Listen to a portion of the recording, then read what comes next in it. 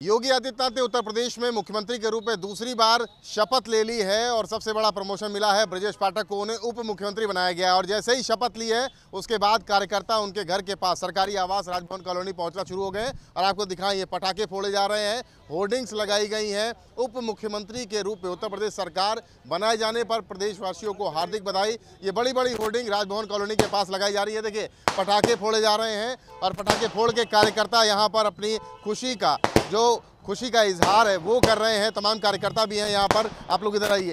इधर, क्या नाम है आपका? मैं नगर पंचायत अध्यक्ष हूँ, गोसाईगंज, निखिल मिश्रा मेरा नाम है। और माननीय ब्रजेश पाठक जी का मैं समर्थक हूँ। और आज माननीय ब्रजेश पाठक जी उत्तर प्रदेश सरकार में उप मुख्यमंत्री बनाए गए हैं, जिसके लिए मैं केंद्रीय नेतृत्व और उत्तर प्रदेश नेतृत्व को बहुत बहुत आभार व्यक्त करता हूँ। और मैं कह सकता हूँ कि ये जो पाठक जी को फल मिला है, उप मुख्यमंत्री बनाया गया है, ये उनकी मेहनत और परिश्रम का फल है। और उत्तर प्रदेश का हर युवा आज ये दिन देखना चाहता था हर युवा चाहता था और उनका हर समर्पित कार्यकर्ता चाहता था कि माननीय पाठक जी को ये सम्मान दिया जाए। पाठक जी के लिए आप लोगों ने तमाम होर्डिंग भी लगाई हुई है। पाठक जी वो इंसान है जो गरीबों के लिए हमेशा जिस वक्त कोरोना काल चल रहा था खुद कोरोना पॉजिटिव हो गया गरीबों की सेवा कर मैं खुद उसका वो हूँ क्योंकि मैं जब कोरोना मुझे हुआ मेरे परिया को भैया ने पूरी हेल्प करी है। और और भैया ने पूरी हेल्प करी है।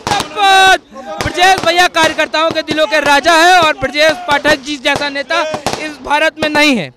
ब्रजेश पाठक जी हर कार्यकर्ताओं के लिए खड़े रहते हैं, जब भी हर संभव मदद करते हैं। ब्रजेश ब्रजेश पाठक जी को जो स्थान मिला है, ये बहुत ही उचित स्थान है और ब्रजेश पाठक जी स्थान के हकदार थे। इसके लिए मैं प्रदेश नेतृत्व एवं शीर्ष नेतृत्व का हृदय से आभारी हूँ कि उन्होंने ब्रजेश पाठक जी को ब्रजेश पाठक के घर के बाहर आतिशबाजी हो रही है, पटाखे फोड़े जा रहे हैं। उप मुख्यमंत्री के रूप में शपथ ली है उप मुख्यमंत्री के रूप में शपथ ले ली है उन्होंने और ब्रजेश पाठक के घर के बाहर तमाम होर्डिंग्स भी लगाई गई हैं।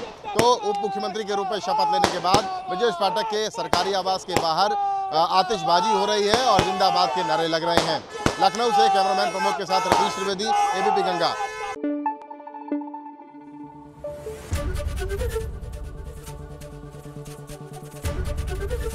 एबीपी गंगा। खबर आपकी जुबा आपकी।